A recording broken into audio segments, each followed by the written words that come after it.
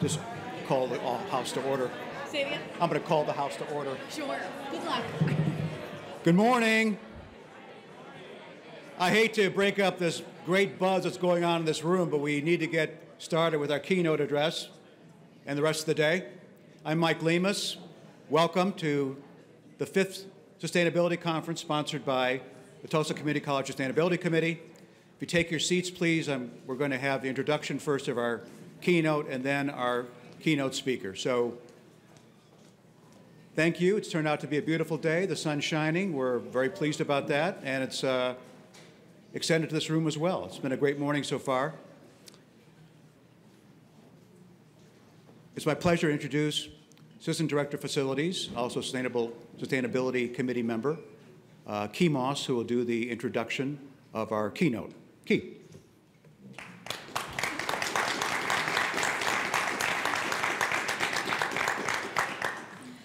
Morning. This is to introduce our keynote speaker, Meghan Fay Zahniser.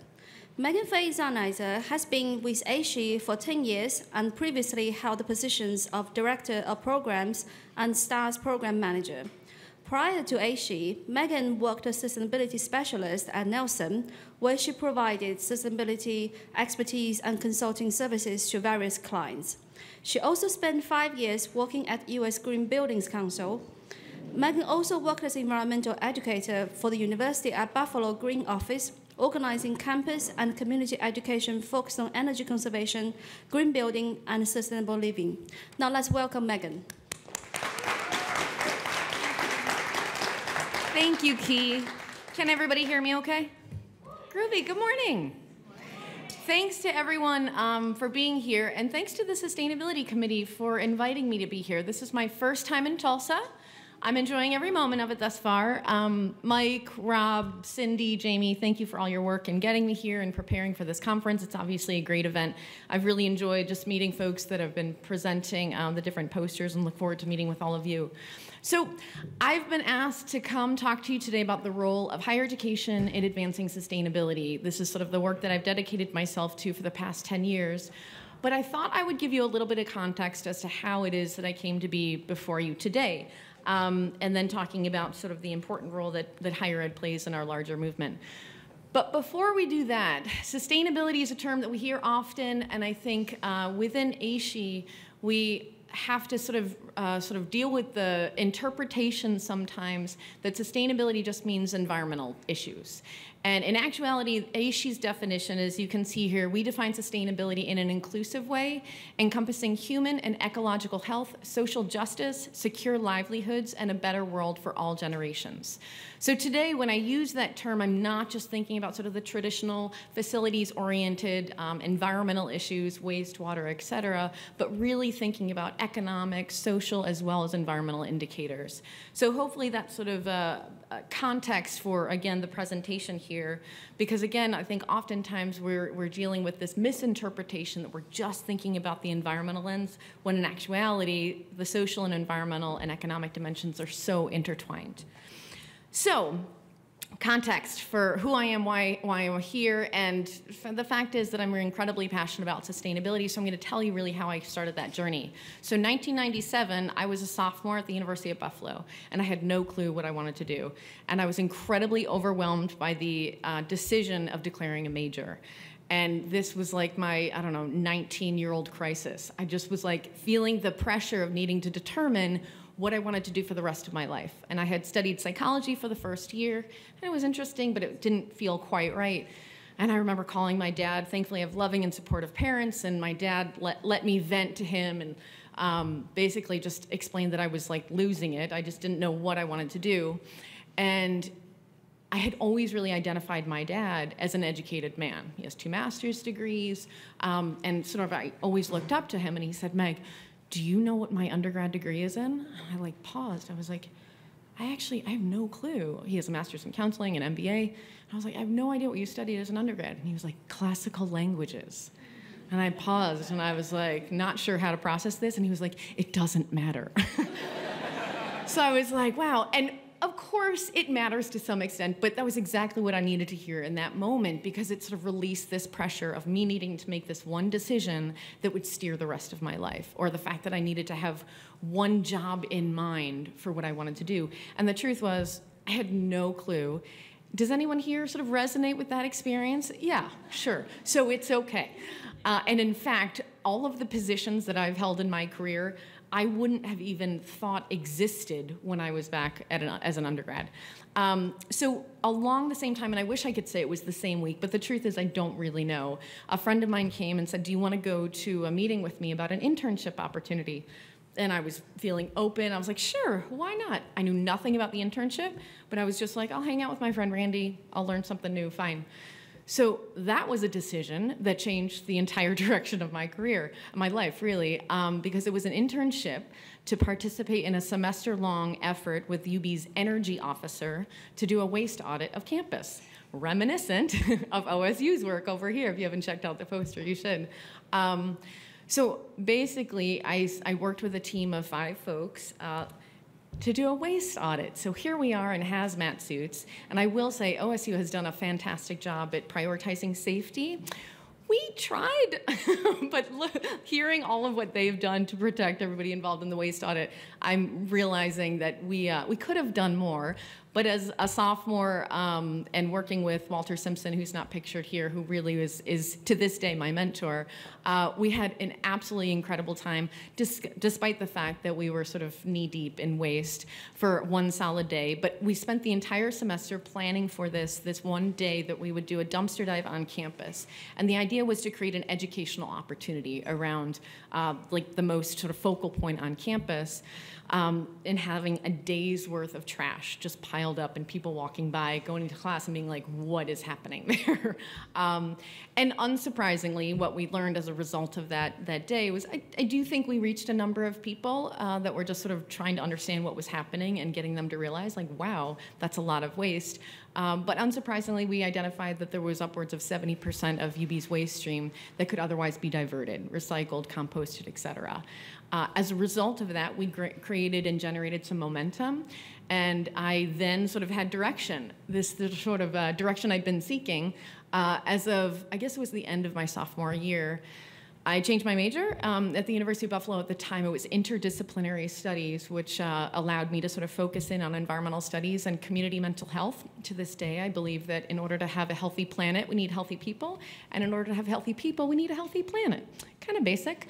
Um, I, I had uh, declared my major, and then I also worked with two of the women that are pictured in this uh, photo to create the UB Green office. Uh, and this was with Walter Simpson, again, UB's energy officer, who was housed in facilities. And uh, the other piece that I did was I started. Um, this is the, the magnet that's on our fridge from what 20 years ago the think green campaign that the ub green office uh, started throughout our i guess it was my junior and senior year we really created so much educational opportunities on campus, reminiscent of the work that's happening around the room here today, and I'm sure back on your campuses.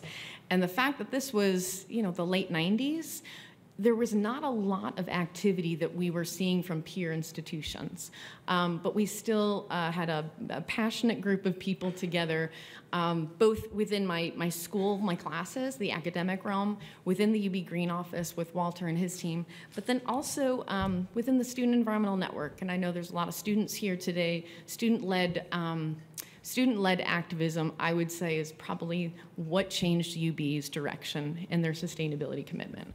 So we had the UB Environmental Network. I would think I was like vice president or something like that. And we were activists. We recognized that the university was not doing enough um, in terms of their sustainability performance, and we told them. we told them in a number of different ways.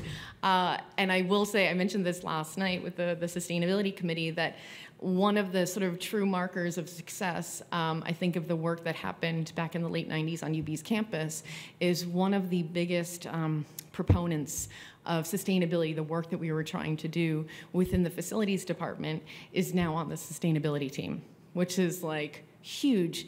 And I think that was one of the first pieces that sort of I realized that real systemic change really takes time. Um, but as the eager, enthusiastic, and motivated students, we wanted to see that change happen much faster. Um, so this photo is here, the dandelions, because it was senior year, we learned that ahead of commencement, the university decided that dandelions were ugly and wanted to spray uh, pesticides to get rid of the dandelions. The pesticide that we're going to use had a known carcinogen. So, understandably so, we decided that was not cool. And the UB Environmental Network did what all of you, I'm sure, would do. We formed the Dandelion Liberation Brigade, the DLB. Uh, so, the DLB, we created t shirts. And honestly, even looking back, I wish that what my memories were a little bit more like clear we did all of this in a matter of like weeks. We created T-shirts, educational campaigns. At this point, I mean, I was a senior, so my academics were it was a little bit lower on the list. my activism work was definitely number one. Um, but the momentum that we had and sort of the energy we had, looking back, it was just it was really impressive. So. Um, I mean, we did incredible activism work. We got on the, the UB, the president did a um, talk show on the local radio station where every week where somebody could call in. And this woman um, who was like fielding the calls to make sure it would be okay. Um, my colleague Erin, who started the UB Green office with me and is still there to this day, amazing. Uh, Erin called in and she said they you know the woman who answered who was fielding the calls was like well what are you going to ask about? And she was like pesticides. And the woman's like no thanks. And she was like i don't know how erin knew this but she was like do you have children and she was like yes. And she's like do you know they plan on spraying this pesticide outside of the daycare? And she was like i'll put you right through so Erin on the local radio station was able to get through and like task the president. Unfortunately, in the like short snippet, we didn't get the, of course we won't do this. Never mind, that was a bad idea. Um, but we staged uh, um, basically this uh, day of activism on campus where we had, in the weeks leading up to this, uh, this protest, camped out in the student union. On the opposite side of this is this beautiful image of a dandelion that one of our friends painted. And we tried to raise awareness about this is the plan, this is what the institution's gonna do, this is not cool, and totally like unrealistic. Why do we want to get rid of dandelions anyways? We did educational campaigns around dandelions and the benefits of dandelions. Um, and the culinary folks would probably appreciate that too. Um, so we had all these signatures, and because you can't really see it, I will read this. This is what we said. Greetings from the Dandelion Liberation Brigade, an organization started at the University of Buffalo in Buffalo, New York for the liberation of all beings. We, the undersigned, hereby demand the halt of all chemical lawn spraying on UB grounds. Under no circumstances should aesthetics take priori priority over ecosystem and human health. Therefore, until pesticides are eliminated from use, the University of Buffalo is deemed unsafe for the university, community, and surrounding areas badass, right? I mean, like, I would never talk like that now, never. so totally badass, and uh, we hand delivered this. Uh, that uh, postcard to the president's office, and we waited, right? And we waited and we waited. And here we made the front page of the Buffalo News, my parents' proudest moment, me on the cover of the Buffalo News, and I haven't gotten a cover since. So students pay, pay attention. Like the power of the student voice is pretty impressive. Um, but so the thing is, we won, right? So the student, the administration said, fine, we won't spray it. But it was one of those that um, it didn't really feel like 100% of a win, right? Because it felt like they were like, oh, fine, once they go away and all graduate next year, then we'll do it next year. So it didn't feel like this systemic change that we were really, really looking for. Um, and we were also nervous, right? Because so many of the student activists uh, that had championed all the work we're leaving. We were graduating, and a lot of us were super psyched to get out of Buffalo. so it was a matter of like, is this actually going to create um, the change? And I've already shared with you that um, it has. UB is now, especially in, within the state, but I'd say even in the country, one of the exemplary universities championing sustainability efforts. And what we didn't see at the time, and especially nowadays with our reliance on, on smartphones, et cetera, we expect sort of like instant gratification, right? And that's what we wanted at the time because we felt that the stakes were so high. So, like, you're gonna spray something that could wind up making us sick. Why would you do that, right? Um, but we, what we didn't see, and what I'll probably never know, is how much the student activism that we led back in the late 90s led to um, systemic policy change within the institution. And I was invited back to campus, which was a big deal because I was like, Are you sure you want me coming back to campus? Oh, actually, one more story. So before I came back to campus, graduation day, right? So, graduation day, we had won, right? The dandelions were still there. Uh, and it was such a huge university. So the um, commencement ceremony happened in like our alumni arena. And we had our one moment of fame, like with our image on the Jumbotron as we're shaking the president's hand. And I was like, I need one more opportunity to have a lasting impact here. So that morning, um, it was just me, nobody else did it. I, instead of shaking the president's hand on stage, I presented him with a hand-picked bouquet of dandelions. and uh, he hugged me. He hugged me and he laughed. And I think that was something too. Um, my my mentor again, who to this day still guides me in a lot of my work that I do, Walter Simpson. He's no longer at the institution. He's retired. But I think Walter grew up as an activist in the 60s, 70s, where it was like, we need to fight. And don't get me wrong, like a lot of the student led activism had some anger in it. But um, because that's not my go to, anger and sort of like being aggressive, uh, I think the president, excuse me, recognized that like I'm just trying to do the right thing here. Um, and he laughed, and you know, again, I have no idea if he's like inwardly like huge eye roll. Is just like get these students off of my campus. I'm so tired of them. Um, but years later, unfortunately, the president um, that uh, was there when I was an undergrad had passed away. But I was invited back to campus which again was like a big deal. And this um, this man Don Erb, who had just and he said he's like Meghan, we just you were so annoying right? Like that was how we were looked at. It was just like, oh, they're just telling us, and they're. I think a lot of them were sort of like, they're kids. Come on, they're kids. We're not going to pay attention.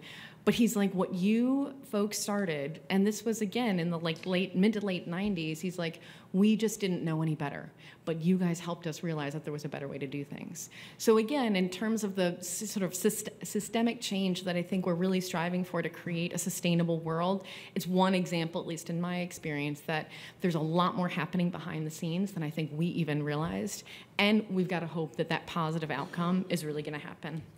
So. Um, that's a little bit of me and why I'm here, and I think the passion that was ignited in me that sophomore year of this this dedication to I really want to create uh, a healthy world for the planet as well as the people living within it. Um, that sort of set me on my track. And in thinking, I've given a lot of presentations about sort of the evolution of sustainability in higher education. And with that, I think it's really important to look back, to understand where we've come from, to understand that you know, I stand before you representing an organization with hundreds, almost a thousand institutions that represent decades of change, decades of work towards advancing a sustainability uh, movement. So this timeline here is by no means a comprehensive timeline of every important move in the sustainability and higher education movement, but rather through my lens, it's sort of some of the important milestones of the past couple of decades that have led to where we are right now. And again, I just think it's really important that we recognize the work that's been happening for generations, really. So in, in 1987, Our Common Future, uh, anybody heard of it? The Brundtland Commission? Okay. So um, essentially, this UN report, uh, often referred to as the Brundtland Commission, was pretty much the first time that we came up with a definition for sustainable development. Sustainable development is the development that meets the needs of the present without compromising the ability of future generations to meet their own needs. So the US, and this is not just about present, but over the past couple of decades, hasn't always had the strongest relationship with the UN, the United Nations. But I do think it's important. I've been lucky enough to do work outside of the United States pretty much when you leave if the united states the un is seen as a very authoritative body. Like if the un says something we're going to follow it. So the fact that this came out from the un sustainable development what that led and what, what that really um, sort of catalyzed was a conversation worldwide around what does sustainable development mean? What does it mean within our country? What does it mean within our sectors? What does it mean within our companies et cetera? Um, from that the brundtland commission understandably so, higher education institutions from throughout the world were thinking, well, wait a minute, we have a really important role here in, in sort of creating the future leaders of tomorrow. understanding that we want to create a sustainable world, we want to advance sustainable development, what's our role as higher education institutions in contributing to that future? So I won't read through all of this, but the Talloires Declaration came together with a few Ivy Plus uh, league institutions throughout the world, really, um, that said, like, we need to create this commitment. We need institutions to sign on to say, yes, we recognize our responsibility, not just opportunity, but responsibility in teaching and educating uh, the, the students that are coming through our walls in preparing them to create a sustainable future. Um, so the Talloires Declaration, again, sort of built on the success of the Brundtland Commission of, of creating conversations throughout our sector. Um, but there, you know, there's no perfect program, there's no perfect uh, initiative, and it was one of these pieces that it was voluntary. Um, we, when we were on campus, we were trying to get our president to sign it. He didn't. Um, and uh, it was voluntary. There was no sense of accountability. So while it was like a feel good thing, it was sort of like, how do we know they're actually changing anything at these institutions to sort of fulfill the Talloires Declaration? So this is very specialized, and you might be like, why are you talking about a green building rating system in uh, the spirit of higher education? The truth is, is that LEED, and how many of you are familiar with LEED? Great, Kirby. So LEED launched in the late 90s. In fact, as a, um, at the UB Green office, we were doing green building educational programs around uh, creating green buildings, and obviously that was when LEED came out. Um, I joined the U.S. Green Building Council as a staff person in 02, and at the time, LEED or USGBC and LEED was like this teeny tiny little organization. I was employee number 10. There's like 400 organ- uh, in- individuals working at this nonprofit. It's an incredible organization, and LEED, there are more um, square, there's more LEED certified square footage on higher education campuses than in any other sector. So I think institutions of higher education that were building on these conversations of sustainable development, understanding that the Talloires Declaration, sure, that's sort of an interesting conversation, but like what more can we be doing? LEED created this opportunity for institutions to say, okay, we want to build a green building or we want to renovate a building to be LEED. Um, so it really did foster sort of this conversation of advancing and actually having a, a space where it was like this is this is representative of our commitment to sustainability. So Paul Hawken, anybody here know about Paul Hawken? He's sort of one of the, I'd say, um, true icons within the sustainability community.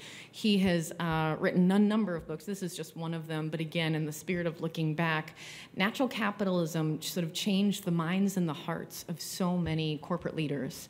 Um, Ray Anderson, who's just a phenomenal human, sadly passed away a few years ago, he started uh, Interface, the largest um, carpet manufacturer in the country. Uh, in the world, actually. Um, they're based in uh, Georgia. And Ray, he read this book and he had his moment of like, my whole organization is just like raping and pillaging the planet. And he had this like moment of like, this is my contribution to the world and decide he called Paul Hawken and he was like, "You need to come meet with me." And Paul, this true hero, uh, who's been an author for for decades, who, again, as you can see here, delivered the harsh truths such as every li living system on Earth is in decline. There hasn't been a peer-reviewed scientific pa paper released in 40 years that contradicts that statement. The, the real truth, hard realities that we've been facing now, and that frankly are only getting worse, um, have sort of these highlights among them, right? Like Ray realizing this opportunity that he had to transform his company, and Interface now has been like just lifted up as such a model and example of how corporate change can actually happen um, as a result of leadership, right? As a result of this vision and a commitment at the top. Um, so, and actually, I just saw Paul Hawken um, speak at an, uh, a conference earlier this year and he's again such a renowned figure like has been around for a really long time is held in high high regard. And he shared with me another interesting fact that may not go over with a higher ed crowd because we're all striving for advanced degrees but he paul hawken does not have one degree to his name. He didn't graduate from high school. He didn't graduate from college. He has no further degree which i find really interesting. And number one it sort of speaks to the opportunity and um, uh, impact that creativity and innovation can have, I think it also speaks to the privilege that him as a white man had. Um, but nonetheless, it was just a really interesting fact. And you know, Paul Hawken, he has a, a, new book called Project Drawdown. Has anybody heard about that? Yeah, so Project Drawdown is, is definitely a, a sort of um, talked about right now on a lot of campuses. So he's done some really, really great work. And uh, again, he, among the scientists and hundreds, if not thousands, of, of leaders throughout the sustainability world, have tried to really hit on the stakes. Uh, and I don't like to dwell here because easily we can basically hear these stakes and be like, I'm not going to get out of bed anymore. That's it. Um, but I choose a path of optimism, right? And instead of focusing on all of the horrible things that sometimes feel inevitable, uh, I'd rather work toward what I actually believe to be possible, which is trying to um, negate or trying to actually um, change some of these potential impacts. But these are just a sampling of some of the true um, environmental and societal challenges that we're facing. Um, from air pollution, 52,000 people are dying each year as a result of exposure to emissions. Like, these are things that I feel like, frankly, we don't hear about a lot. Oceans and plastics, I mean, obviously there's a huge commitment to trying to reduce plastic. The fact that there's 9 million tons of plastic in our oceans each year. Do you guys know about the Great Plastic Garbage Patch in the ocean? I mean, just horrible. And obviously, that's impacting not only ocean life, but all of the people that are relying on food from the ocean. Um, rising seas and extreme weather, obviously, this is sort of now not just a national conversation, but a global conversation, and recognizing that the impacts of climate change are going to disproportionately impact people of color, uh, lower socioeconomic uh, communities throughout the world climate refugees, what's going to be happening as a result of people needing to move to find water, food, et cetera. Um, and obviously decrease in food production and qual quality water supply. There's books written now about how there's going to be water wars. So again, this is like stark, and it gets um, at my sort of core of my being. I could easily, again, just sort of be like, I don't, I don't want to hear about it. However, what I do like to hear about is the potential right? So this is where, especially within higher education, which is a sector sort of unlike any other, um, that is based on innovation and creativity and opportunity and the uh, the option and sort of the the space for learning new things, trying out new things. So this is stats just in the United States. We're roughly about 4,000 institutions of higher education, right? So about 1,600 two-year, 2,400 um, four-year institutions. Um, imagine if this spring, with the graduating students that will be leaving two-year, four-year institutions, if every single one of those students was equipped with the knowledge, the tools, and the skills to be able to address sustainability challenges regardless of career path, right? Regardless of their course of study.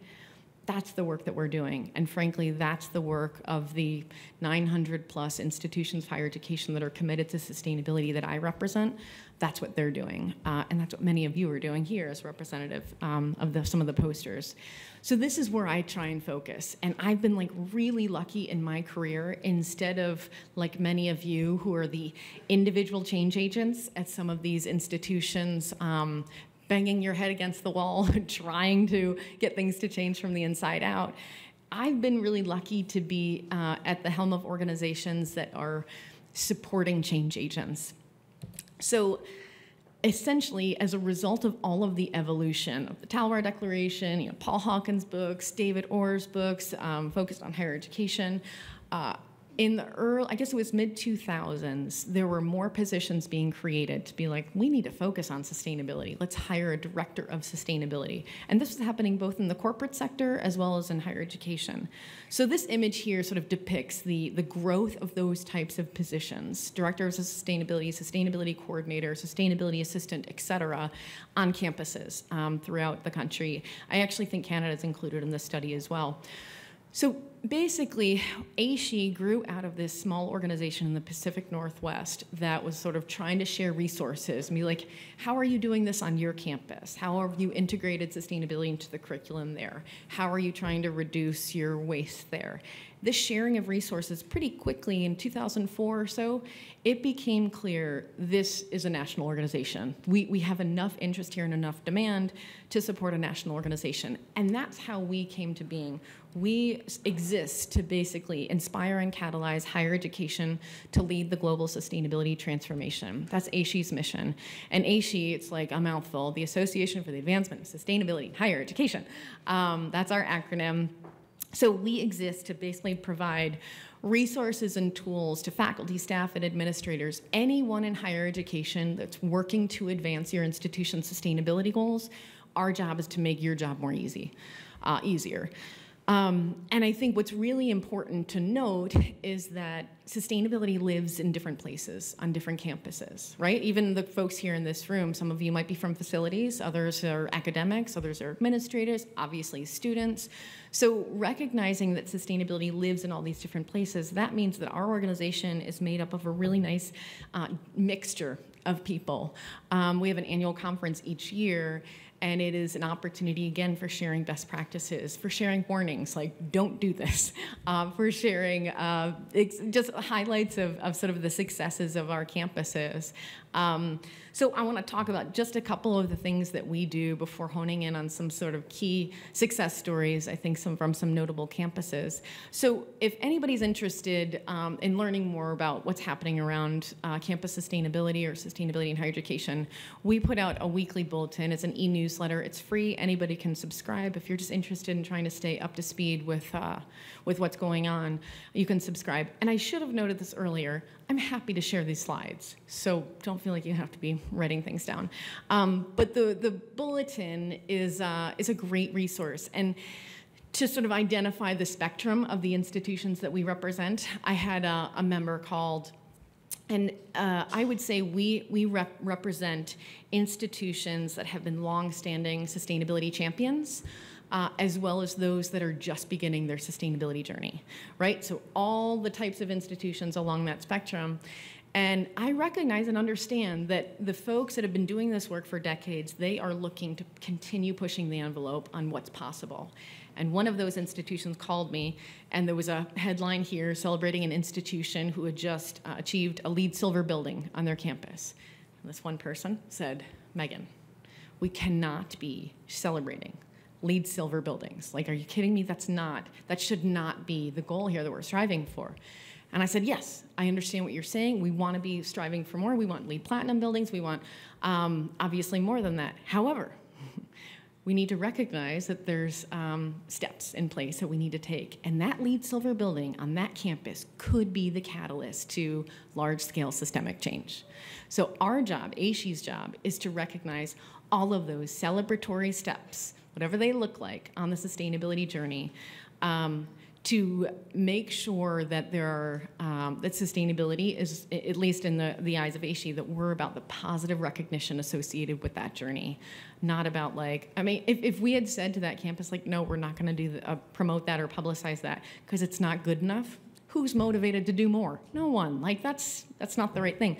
So in any event, and after sharing that perspective with this person over here, she was like, "Oh, right." And I was like, "Right. You're from a wealthy institution that has plenty of resources. You don't get it. But let's remember, there's a lot of other institutions uh, that are under-resourced, underfunded, understaffed." a lot of institutions in that category that that success that LEED silver building or something like that needs to be widely celebrated so there are things like that in our AASHE bulletin. Similar, we also have AASHE awards, um, and this is such an opportunity. We uh, continually hear each year, like, do more awards, like more award categories, because again, any light that we can shine on the positive work that's happening within research, academics, as well as operations is a good thing to do. So it's a great platform, and especially for some of the posters here, something you might want to think about. Our um, application for AASHE awards is going to be open soon uh, if you're interested. We also have a campus sustainability hub, online resources, and you can see uh, this is sort of broken down into basically all aspects of campus. If you're a member of AASHE, because we are a nonprofit membership association and it's institutional membership, so you might be thinking, is my institution a member? Um, if you're a member, all every single person on your campus can benefit from our resources. Uh, so there was you know a question over here about uh, OSU, and we were talking about academic programs, and I was like, well, if any of your students are wondering, well, what are the sustainable design programs that I should be looking at? that's a resource that we can provide for you. So our hub provides um, tools and best practices. If you're looking, a faculty member that's looking to incorporate sustainability into your curriculum, if you're a student looking to lead a banning bottled water on campus, or a director of sustainability that's looking for a GHG reduction plan, these are the types of resources we offer. There's thousands in there. Um, again, sort of a couple of years ago, we partnered with 14 institutions throughout the US and two in Canada um, to essentially recognize that we had been offering training for faculty for about a decade, but the scale was just not really what we needed or what we wanted to be able to achieve the, the results that we're looking for. So we partnered with these institutions that were already doing this type of faculty training around incorporating sustainability into the curriculum. Um, and this has enabled us to basically serve probably 10 times more people by working with these institutions to have faculty from all different disciplines coming to say, how do I incorporate sustainability into my curriculum? Whether it's biology, math, art history, you name it. These are sort of opportunities for faculty to better understand um, how they can incorporate sustainability in the curriculum. We also have a mentorship program. At our annual conference, I've had people come up to me um, saying, like, thank you for the work you do. Because in many cases, our sustainability coordinators are, you know, passionate 24 year old who is like the sole person sort of somewhere hidden away in facilities trying to figure out how they can be the catalyst for change. And then they come to the ACP conference. They're like here are my people. Um, so it really it's sort of like a support group in a way. And that's why we created the mentorship program a couple of years ago to really try and help the more uh, the the beginners really as a sustainability professional paired up with more seasoned professionals to really help them be most effective STARS. So um, when I started at AASHE 10 years ago, I came on board to launch this program. I could easily talk about it for a long time, so I'm going to look for Rob to give me the sign to cut it off. Um, so STARS is the Sustainability Tracking Assessment and Rating System. LEED measures a building, right? A building's and basically defines a green building. STARS is looking at an entire institution of higher education and recognizing it for its sustainability performance.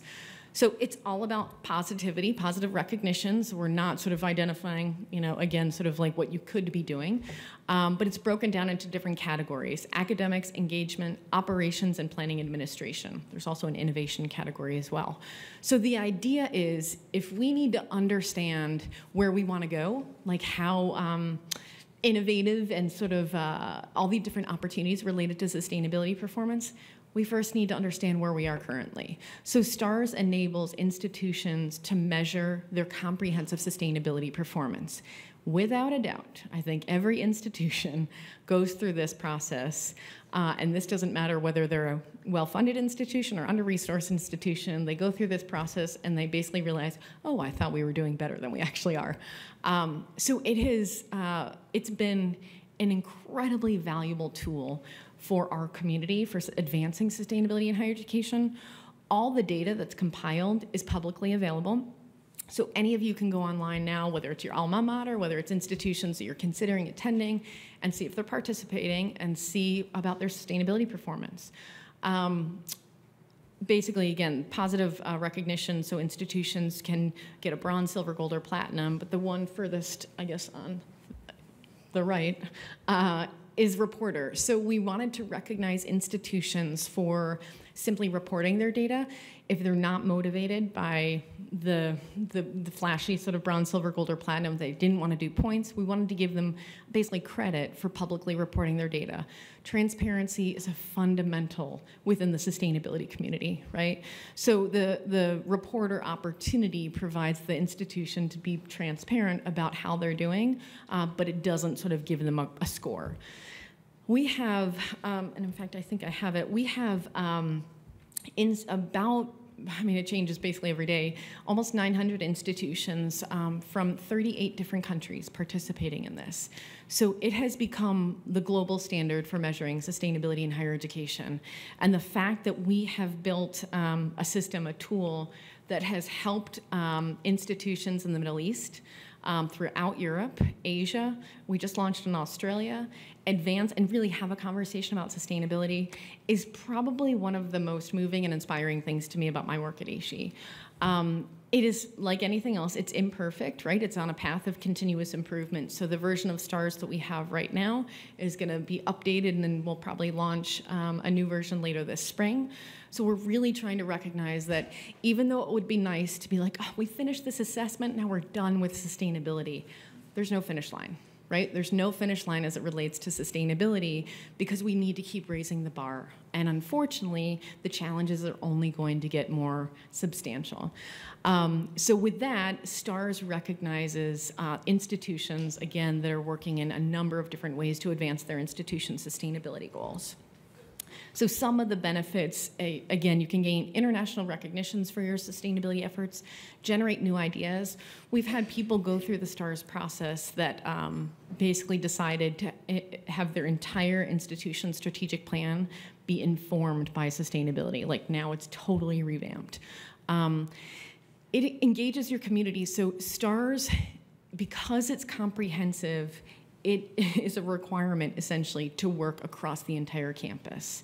Um, and a, a, reminder here too, back on the first slide about sustainability, this is not an environmental assessment. This is a sustainability assessment. So within it, we have not just academics and operations, but we have questions around faculty opportunities, how you're treating your staff, diversity and affordability, human resources. Um, so again, this the the process of going through STARS basically engaging your community is part of a requirement, really, because you're having to go collect all of this data. Again, as I mentioned, it creates a baseline for continuous improvement, understanding where are we starting. And one of the things that I think it really helps institutions hone in on is the top key areas where they can be most impactful, right? There might be dozens and dozens of actions that you want to be able to do to advance your sustainability performance.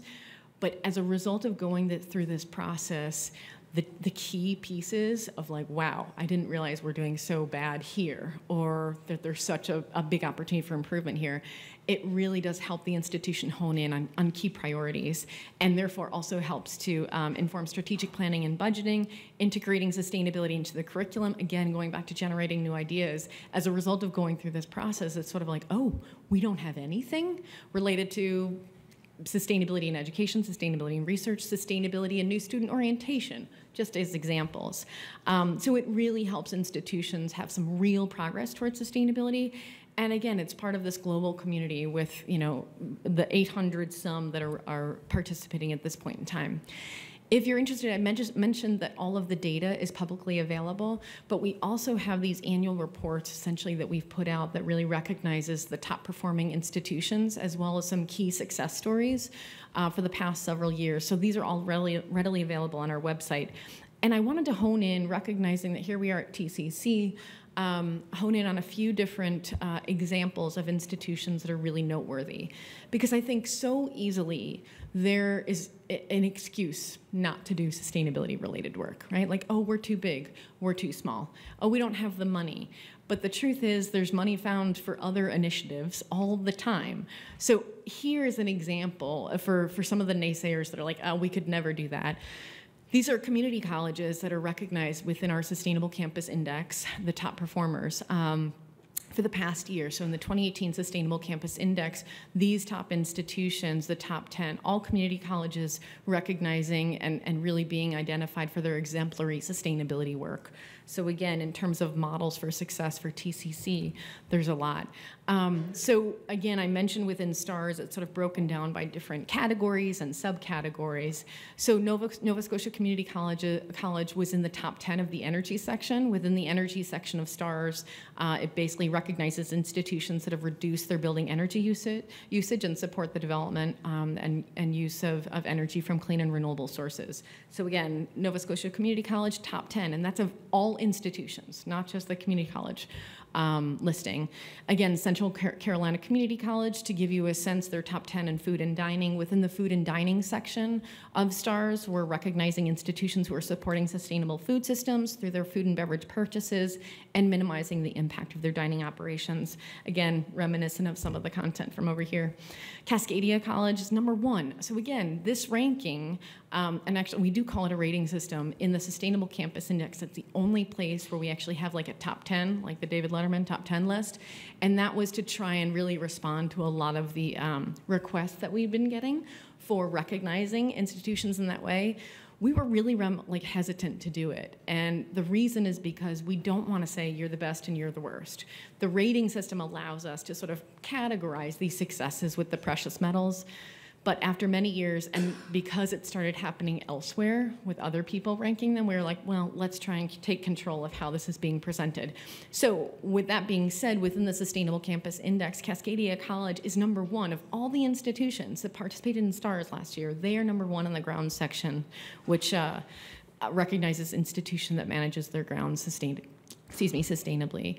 Um, so there's so many notable examples of community colleges really that are excelling in terms of their sustainability performance and being recognized for it throughout the globe through our STARS rating system. Religious institutions recognizing that obviously, so there's a key one here, number of different religious institutions. This actually isn't even a comprehensive list, but those that have committed to sustainability and are actively involved in STARS that are trans, um, looking to track their data and actually, again, be on a path of continuous improvement.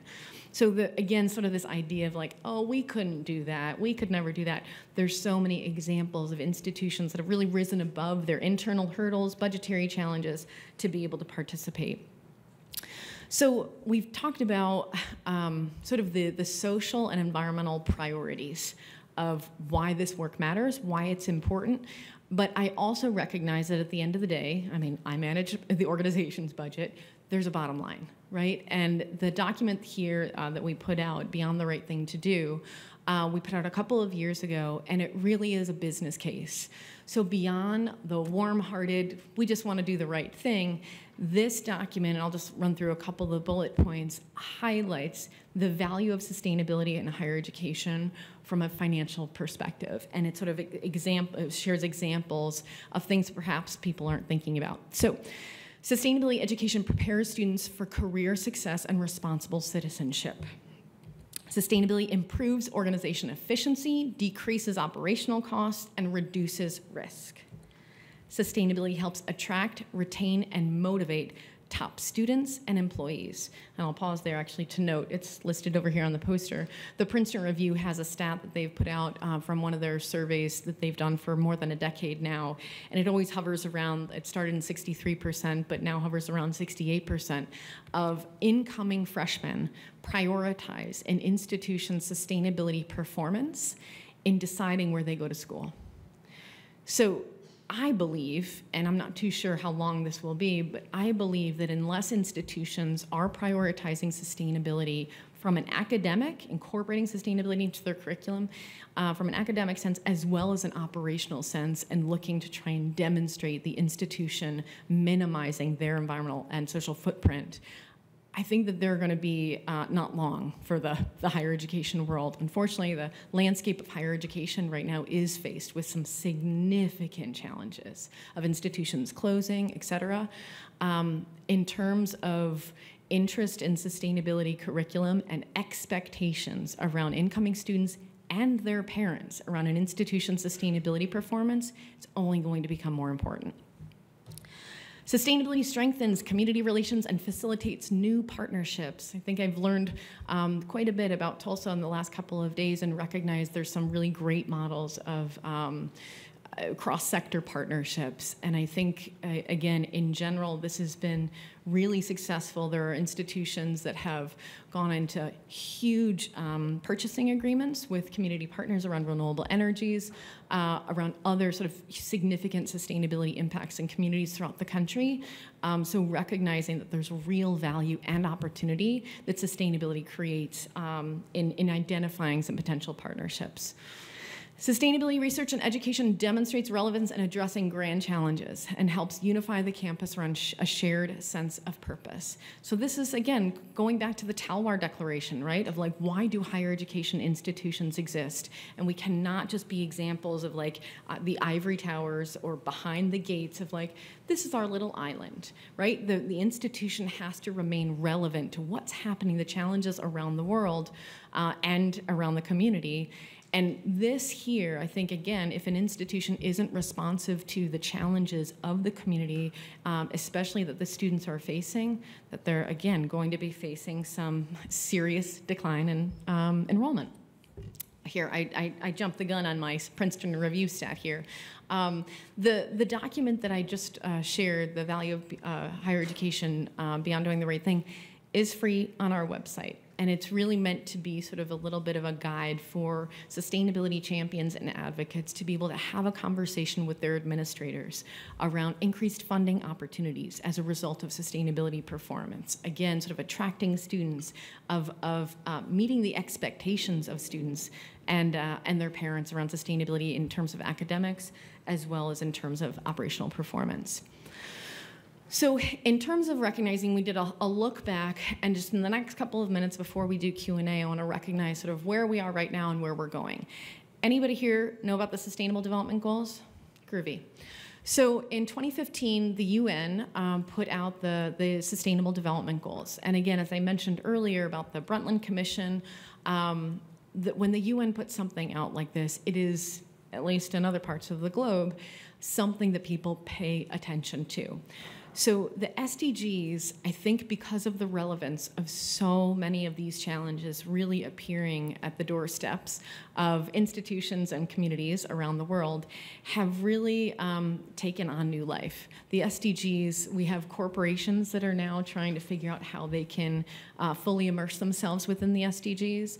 Um, again, within our academic community, SDGs are now being um, inc included into the curricula, trying to understand when we're talking about sustainability, uh, what do we actually mean? And the 17 SDGs here uh, really sort of helped identify that it is not just an environmental conversation, right? That there are social dimensions here that are intimately interrelated to these environmental challenges that we're facing. Um, so I'm really excited. I mentioned that um, STARS is being used by institutions in 38 different countries. So you can imagine this important um, standard for sustainability in higher education. We've gotten a lot of interest saying, well, what about the SDGs? How is STARS recognizing the SDGs? So um, this, I mentioned that we were going to be launching a new version of STARS um, coming later this spring. Every single STARS credit that we have within the system will be aligned with the relevant SDG. So what, what's important there is I think um, that we're looking beyond our individual campuses, right? That we're thinking about, as exciting as all of this work is here and the, and the amount of time that um, it takes for some of these successes to happen, but how do we connect those impacts we're having within our campus to the global goals? And I think that's motivating, it's inspiring, and it's helpful for individuals to connect efforts from within the campus, within the community, to these global goals. Um, I would definitely encourage you to look more into the, the SDGs. They really have been such a phenomenal teaching tool.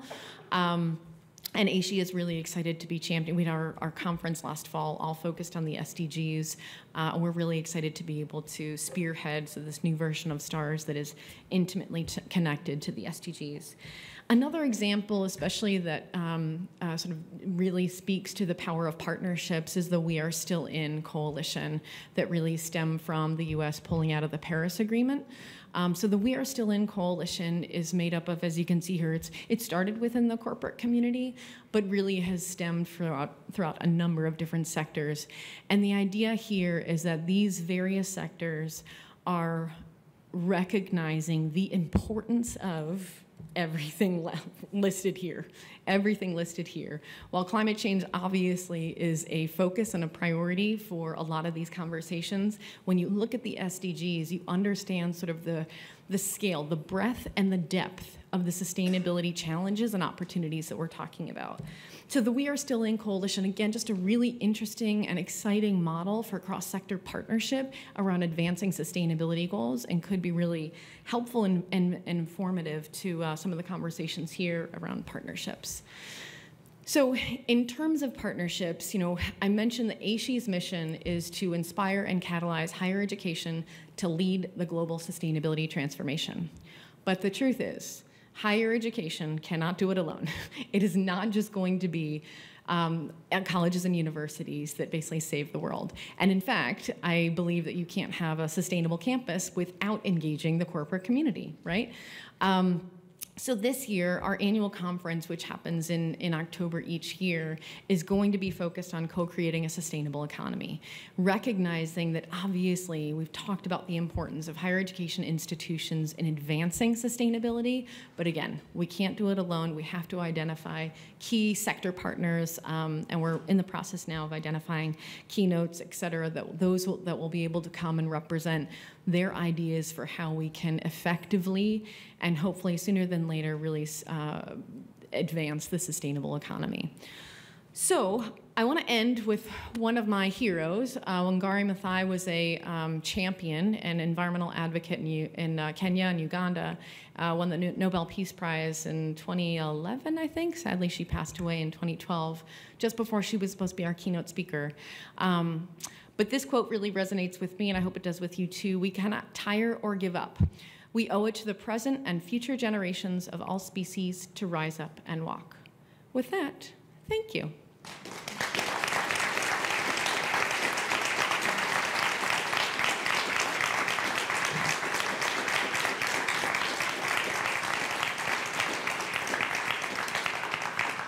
I think we're going to do Q&A. Do we have time? Great. I didn't talk my, your ears off. Maybe I did. Who has a question for the annoying student activist? yeah. Do you guys plan on getting into any schools uh, other than like colleges? Great. So K through 12. Is that yeah? So great question. Um, or do we plan on having some of our work in K through 12? Um, so AASHE, there's something that nonprofits are very aware of called mission creep, and we want to stay in our lane. However, uh, because there are other organizations out there, um, actually in the sustainability in K through 12, there's actually numerous organizations similar to AASHE's that um, are working to advance sustainability. And I can definitely share some resources for you. I think we are very interested in creating a bit of a bridge, right? Like how do we make sure that students are graduating from high school with, again, some of these this knowledge and tools, and again, expectations uh, for college, but beyond we um, we created something a few years ago with a partner of boarding schools that came to us and said we're not really like regular K through 12s. We're more like a higher ed campus. So they made sort of this compelling argument for them participating in STARS.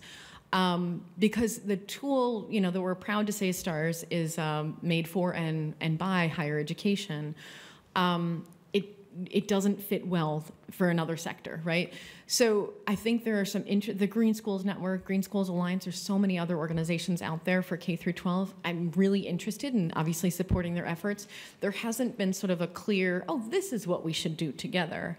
Um, but certainly open to those ideas, and I can try and find some some of those organizations to put you in touch with.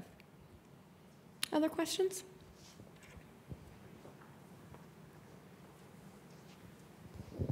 Uh, hi, you had on the just some of the names of schools you showed us. It seemed like you had a lot of penetrance with Canadian schools. So I was just wondering if there's a story there, and if you go outside of North America. Yeah, great question. Thank you. So um, when we started, again, now it's like 13 or so years ago. Uh, when we grew out of this network from the Pacific Northwest to be a national organization, we recognized that there was a lot of momentum in Canada. And Canada was also very eager to say, hey, can we be a part of AASHE? Um, and early on, even we, we've been sort of uh, reticent to sort of have boundaries on the work that we do, like where it extends to. Um, but we also recognize that there are AASHE like organizations elsewhere. So Canada um, and institutions in Canada have been members of AASHE from the beginning, and we accept members from anywhere. So we have institutions from various countries that are part of our community. Um, but we also recognize that there are AASHE-like organizations. We work closely with uh, an AASHE-like organization in Australia, uh, the UK, I'm working right now to help build one in China. Um, so, in any event, we definitely have the doors open for everybody, but also recognize that there's important work happening on the more local or country level with other organizations uh, that are similar to ours. And there's actually something called the Global Alliance. Um, it's an informal network that uh, was started probably in 2015, and it was the first time again that I was able to really understand the um, global work the, of like the, I, I, even within AASHE, perhaps it's from like my change agent days at UB, I was feeling like, oh, well, this is happening here. But the Global Alliance, this meeting in 2015, really opened my eyes to what's happening throughout the world and the fact there's so many other networks like ours out there. So there's definitely a lot of work uh, happening. And again, our doors are open for anybody that wants to be a part of it. Yeah. So you mentioned the AASHE mentorship program. Yeah. Is that only for professionals in the workplace, or would that also apply to students who want to get a sustainability movement on campus and there's no other traction? That's a great question. And thus far, it's only two years old. It has been for professionals. Um, a lot of that's been because of demand, right? So, and there's limitation, unfortunately, of capacity. But that's definitely an interesting idea uh, to extend, extend to those interested in getting into the field. Um, National Wildlife Federation is one of our key partners and have done a conference the past couple of years, a virtual conference on eco careers, et cetera. So we've tried to sort of um, create opportunities for, for partnership uh, where possible to support those that are looking to get into the field. We do have probably 600 students that come to our conference each year. There's a whole student summit um, for a day long ahead of our, our regular conference. So there's certainly opportunities for integrating within our community for those that are interested in trying to get a position. And I would also say the AASHE Bulletin that I mentioned, the free weekly newsletter, lists job opportunities. Um, and there are, so we have something else I didn't mention called AASHE affiliates that you can look at on our, our website. These are sort of uh, mostly informal networks on a regional basis that are supporting institution individuals rather in sustainability and higher education. So that also connecting with some of those on a regional level. And I don't believe there's one in Oklahoma. That could be something, an opportunity to talk to the committee about. Um, but there, there sort of are other ways to connect on a local level um, in addition to potentially even coming to the AASHE conference, which is going to be in Spokane, Washington. And I've never been there this year. Two places this year, I've never been to. Other questions?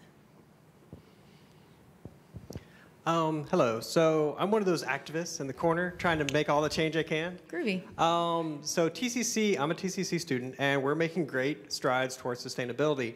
But it's sometimes difficult to engage the higher up, the people at the very top. Yeah. Um, are there some easier pathways that we can get recognition for that aren't as difficult as some other ones? Mm-hmm. And do your awards, are they enough of a goal for us to take, to take to our presidents, to our provosts, to those people to actually engage them and say, hey, if we can do this and this, our institution can be that? So there's a lot in there. I appreciate that question. Um, a couple of thoughts the first thing that comes to mind is actually uh, something that the director of sustainability at Darth, Dartmouth shared on a panel presentation a couple of years ago, which I think is really profound, especially in this day and age where we can't really, unfortunately, aren't having as much healthy discourse as I think many of us would like. To think about basically putting yourself in somebody else's shoes, and as a student activist or whomever that you're looking to try and really create some systemic change, to think about what are the problems that are keeping up your senior leaders at night and how can the work of sustainability agents address those challenges? And the, the conversation that um, this woman, uh, Rosie from Dartmouth, uh, had mentioned, she was like, What my president is worried about, uh, you know, he's worried about a campus assault. He's worried about safety. He's worried about all these different things. And she basically was like, how her work was trying to align their, their concerns, the administration's concerns, with opportunities for advancing sustainability. I share that because I think that's a really interesting, well, it's a helpful reminder, right? That, and unfortunately, we often need reminders to consider somebody else's perspective. Um, but I share that because I think, in addition to the fact that um, there's a number, any any institution is probably at uh, any given moment faced with a number of challenges, that senior leaders and I think a lot of folks aren't necessarily against the idea of trying to create a healthier world, but they are more focused in many cases on more pressing financial issues that are right in front of them. So if you can try and tie in, and this is where the document, the Beyond um, Doing the Right Thing, the value of sustainability in higher education, if you can try and tie in some long-term positive impacts or even short-term positive impacts. Um, in terms of sort of the um, prestige of the AASHE Awards, I mean, I, I certainly think, and this is why we hear every year from campuses, from board members, et cetera, that are like, we need more award categories because it, it's just an opportunity for raising awareness and it feels good, right? So when a campus is being celebrated for one of these key accomplishments and being recognized on this international platform, to me, that's compelling. And I think to any senior leader, it would be compelling. And one other quick story is um, a woman named Maria, who's a just a fierce change agent at uh, the Dallas County Community College District. Um, she had a new president come on board maybe like three weeks before the AASHE conference, and they were getting an award. And Maria was so excited to be able to introduce herself and uh, the sustainability champion and say that we're getting this award. And the president, three weeks on the job, was like, So who gets that? And she was like, uh, Who accepts it? And she was like, The president. So that meant the president was at the AASHE conference on stage getting this award, and he was like, groovy, like, this is awesome. So she had a, a basically a, um, an advocate from the beginning because she had this cool story. So that's just one example, but I'm sure there are others of really these um, sort of turning points for institutions as a result of a positive accolade like the AASHE Award. So something to consider for sure. Yeah.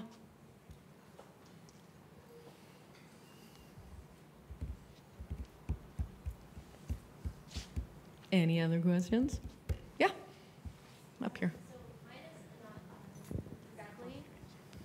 related to higher education, but I saw on your We Are All In that there are nine tribes that are Yep. a part of that. Do you know those tribes? And um, also, I was wondering, are there any organizations forwarding sustainability for tribes?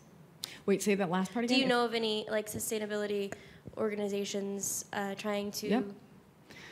Make it more known for with the tribes Gotcha. themselves? So um, we are still in. I'm a, a, a supportive outsider of the effort, right? So um, we've our, our members have signed. Many of our members have signed on, et cetera. And again, other we're, we're sort of on the um, the outside, but a, a supporter of it.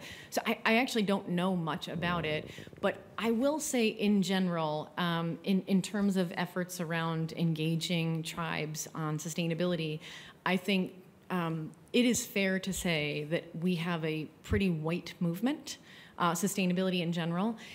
However, that is not uh, to say that there hasn't been significant um, environmental and environmental justice efforts and accomplishments over decades that have not been at the front forefront, unfortunately. And AASHE is actually um, we have a diversity, equity, and inclusion platform um, that uh, has been happening basically for the past couple of years. Every year, we're trying to prioritize uh, speakers around social justice and equity. You cannot have a sustainable campus without addressing equity and social justice. Um, but even for myself, I'm feeling like we need to do more. We need to do more beyond the keynote speakers. What does that look like? And I was even chatting with one, uh, one of the poster presenters earlier saying, have you thought about uh, engaging with your diversity and inclusion office on campus, right? Like what these opportunities look like for um, sustainability and, and diversity, equity, and inclusion to be partners on campus because I think these conversations are so interconnected and yet they've been separate in many cases on di- different campuses. Um, so my sense is I actually think that um, some of the sustainability, um, the way that we're talking about it in our frames, are inherent in a lot of the tribes. Um, and I would say that there's probably a number of different organizations out there. Uh, again, sort of as the similar question, I don't have them in the top of my head, but.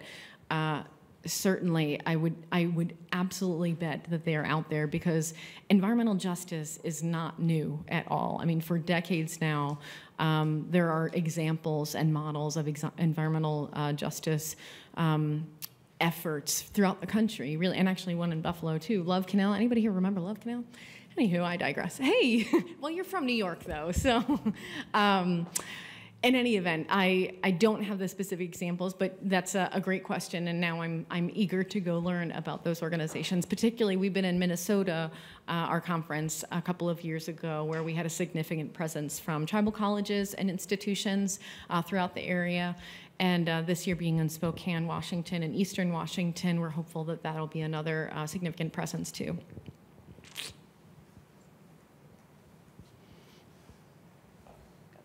Yeah. Sure. Um, so when you're talking about there's so many young people who are very, very keen on the sustainability front, um, there are a large population of those students, but we also have another population who still doesn't even care about recycling sure. or something like that. You know, from what we find in the waste audit, yeah. there's still so many people don't care about yep. separating those things. Is there any tips that you can give us in terms of how we can encourage the people who are not in the sustainability agenda to be more aware? Yeah, I mean, Key, that's like, that's the question, right? What we're talking about here is how do you change behavior? Um, and there's research and there's studies and there's you know again decades of examples of some success stories um, but then you know that changes and unfortunately people and institutions have had um, sort of like a backslide, right? And in terms of their impact, their impact, their footprint. So, I mean, the conversations that we had at the University of Buffalo when I was an undergrad are still happening probably there as well as on campuses throughout the country. So uh, sometimes I'm, I'm sort of comforted by, you know, misery loves company. There, this is a challenge that everyone is facing. And I think the key question is how are we going to really move people to understand their role um, in helping to reduce the, the impact that they're having? Um, I think this is sort of the, the key opportunity for higher education institutions because students are there to learn. And from the moment that students step on campus, how does the institution make sure that sustainability is a priority? That it's part of every single day of the students' lives and really the campus community.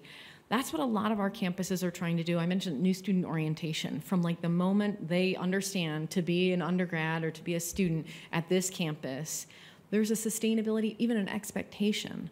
Um, but I will tell you, like the, the, challenge of getting people to put the right thing in the right bin.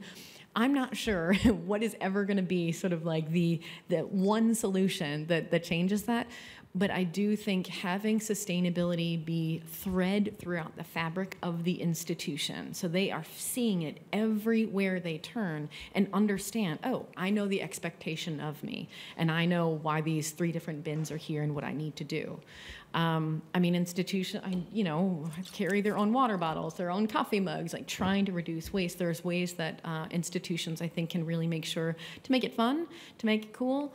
Um, so hopefully that helps. There's there's an effort called Campus as Living Labs that um, is is something that's been a real popular trend for the past many years. With the idea being, how do we make sure that there's an opportunity for stu- students to learn about sustainability, not just like within uh, a particular building on campus, but everywhere they walk on campus.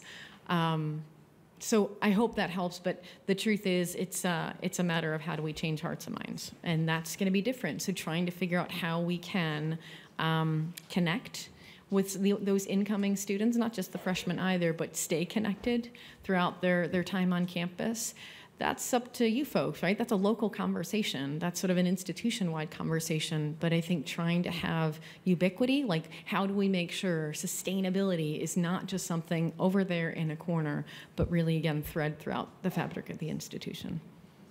Yep. Groovy. Hey, thanks everybody. I really love Tulsa. So thanks for having me.